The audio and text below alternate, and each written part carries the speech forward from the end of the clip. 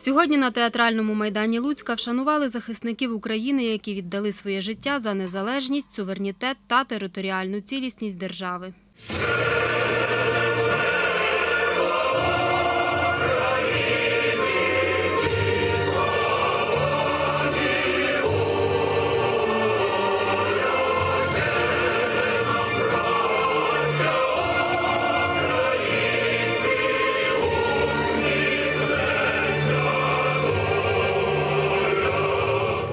Людмила Нагорна каже, на війні 18 січня цього року загинув син Олександр. Він пішов воювати добровольцем, у мирному житті працював у поліції. У чоловіка залишилася 10-річна донька та дружина, розповіла Суспільному мама Людмила Нагорна. Хто, як не я, буде захищати доню, дружину, вас, батьків, щоб жили в рідній незалежній Україні. Та й так не стало синочка. То такий був позитивчик, то такий був хлопець, така душа колективу. Тяжко без нього жити, але потрібно раді донечки, раді нашої країни. Треба в пам'ять синочка, треба жити достойно. Іван Бондарук служив у складі 128-ї гірсько-штурмової бригади. Загинув на початку цього літа на Запорізькому напрямку, розповідає його бабуся Таїса Бондарук. добрий, чуйний, гарний татусь. Дуже любив він ніколи мене де б не зустрів би. Він ніколи не сказав баба, тільки все казав бабуся, він завжди прийде, поцілує, обійме. Хай буде земля пухом, всім, всім, всім.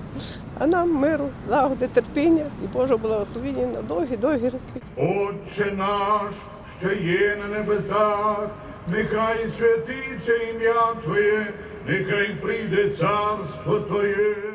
Обоє синів Анатолія Мельничука пішли захищати цілісність України на початку повномасштабної війни. Старший син Олексій, розповідає чоловік, загинув на Харківщині 10 вересня 2022 року. Герою було 42. Вони двох з братом. Вони удвох з братом меншим були у Польщі. Тільки почалося, вони на другий день уже були тут, а на четвертий були у військкоматі. В 14-ту бригаду потрапили. Якраз був той наступ на Харківщині.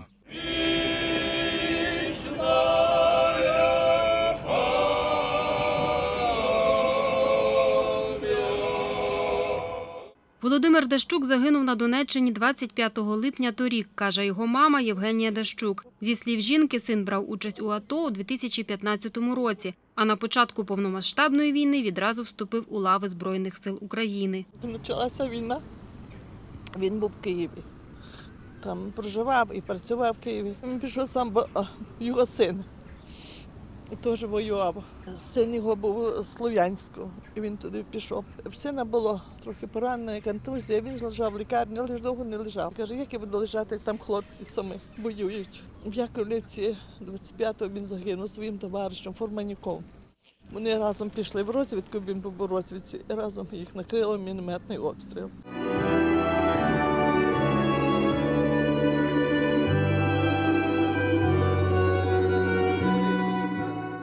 Участь у заході взяло орієнтовно 300 людей, розповіла телефоном Суспільному речниця поліції Волині Ольга Бузулук. Завершилася панахида покладанням квітів до пам'ятного фотостенду Герої Небесної Сотні загинули за єдність України. Наталка Кликуцюк, Олександр Ватащук, Суспільне новини, Луцьк.